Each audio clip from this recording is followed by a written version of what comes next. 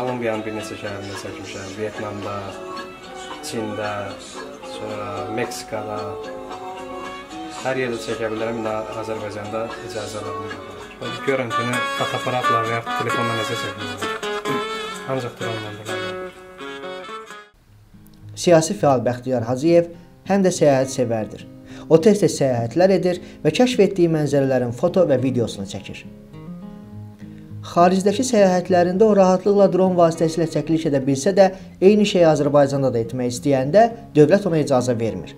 Pilotsuz uçan aparatların istifadəsi Azərbaycanda lisenziya ilə məhdudlaşdırılıb. Drondan istifadəyə icazəni Nəqliyyat, Rabitə və Yüksək Texnologiyalar Nazirliyi, Müdafiə Nazirliyinin, Daxili İşlər Nazirliyinin, Dövlət Təhlükəsizlik Xidmətinin, Dövlət Sərhəd Xidmətinin və Xüsusi Dövlət Mühafizə Xidmətinin rəyləri nəzərə alınmaqla verilir.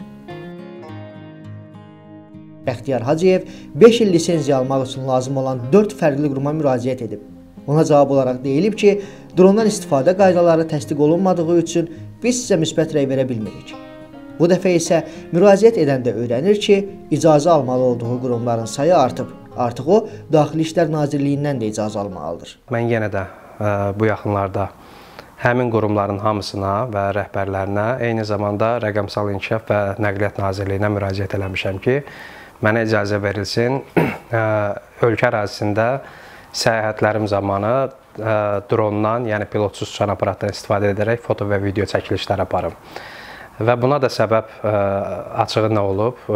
Sosial şəbəkələrdə dron icazəsiz satan şirkətlər peyda olub ki, onlar açıq şəkildə o icazənin rəsmi lisenziyasını, icazənin rəsmi sənədini paylaşırlar və deyirlər ki, bizə icazə verilib və kimsə istifadə eləmək istəyirsə, biz həmin o icazəni, MMC-ni sata bilərik başqa bir insana, onlar da istifadə edə bilər. Və bu da e, bir vətəndaş olaraq məni çox narahat edir ki, e, dövlət qurumları ayrı seçkilik eləyirlər. Yəni bir vətəndaşa icazə verirlər, amma yerdə qalan bütün vətəndaşlara icazə vermirlər. Dron istifadəsi. Yəni icazə veriblər artıq. 6 qurumdan icazə 28 min manat.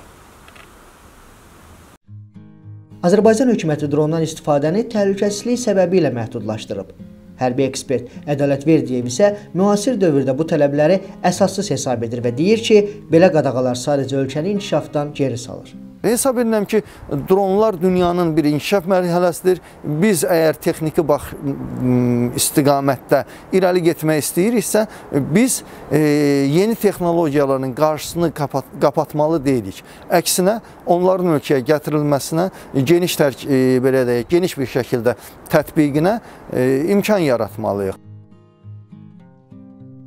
Qanunverici orqanda təmsil edilən deputat Aqil Abbas isə drondan istifadəyə qoyulan qadağanı dəstəkləyir. Sıradan insan dronla istifadə edilməz. Hələ bir dronla görsün, göydə fırlansın, elə şey olar. O müəyyən icazə alınmalıdır, qeydiyyatdan geçməlidir. Yoxsa hələ bir dron, dronun var, çəkiləm olar.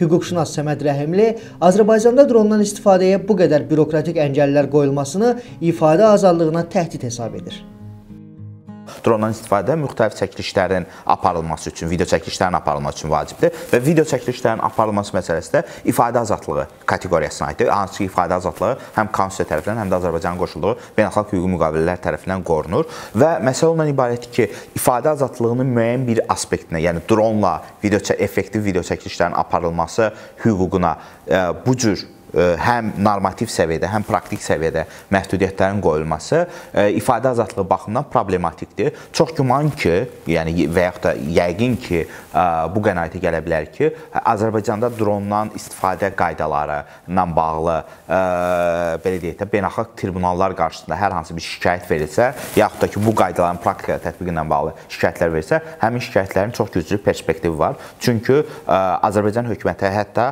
bu məsələdə mülahizə səlahiyyəti səlahiyyətindən də artıq e, çərçivədə ağır bir tənzimləmə aparır və müqayisəli olaraq baxdıqda biz görə bilərik ki, e, bu qaydaların özlərini və həmçinin bu qaydaların praktikada tətbiqini ifadə azadlığı baxımından mübahisələndirmək mümkündür.